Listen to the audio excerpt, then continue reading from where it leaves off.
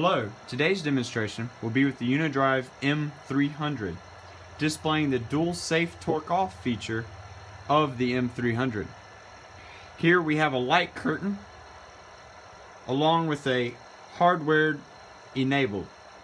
Both enables must be true in order for the motor to rotate. We have our open loop vector motor running at a 0 to 60 hertz speed proportional to the analog input. Now if we put our hand, we can see that the drive is now inhibited and motion has stopped.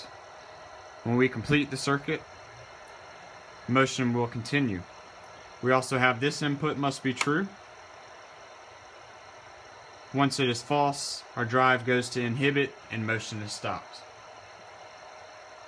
Now with this dual safe torque off, it gives a SIL 3 safety rating.